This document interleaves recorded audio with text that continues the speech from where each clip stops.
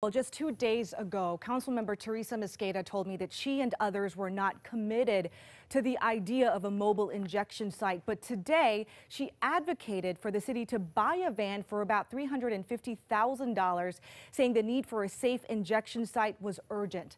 Mosqueda has always been supportive of a safe injection model. In fact, many Seattle city leaders believe it can make a difference in the fight against heroin addiction. They say data shows that it prevents death and helps with with outreach.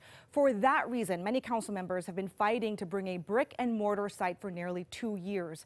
But finding the right location that meets the criteria has been challenging, and perhaps one of the biggest challenges has been the pushback from many in the public.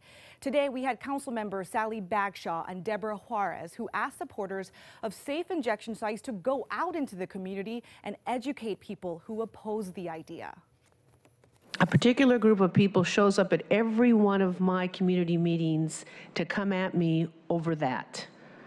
And I, you know, you can only do so much. Due to the pushback from the public, Juarez flat out asking whether or not it was possible for the city to buy a piece of property outright and build a safe injection site. She was told by a city staff member that that's even more challenging because of the cost and shortage of real estate right now. So now the conversation has evolved into whether or not a mobile van is an option, a van that could be fixed in one location. This report right here shows that it would cost about $1.8 million to get this van up and ready and another up to $2.5 million to operate it. I also think that if we have a known amount for the purchase of a van, uh, potentially being $350,000, that we should move forward with the purchase of that van as we engage with the community about the possible location. And with a reminder that it would be a fixed location. If those dollars are in hand right now, and if, if I'm reading the information correctly, if that is the most cost effective and most expedient way for us to create a potential site Um, I would like to register in addition to wanting to have the dollars to move forward so that we could either purchase our own property and build brick and mortar. If that's not an option right now, then I would like us to get this um, ban in hand.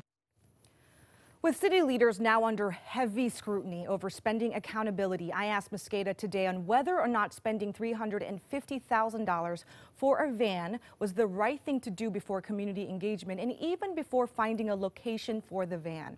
In response, Mosqueda emphasized that the community would get to engage and that City Council has not reached a decision on the mobile van idea yet.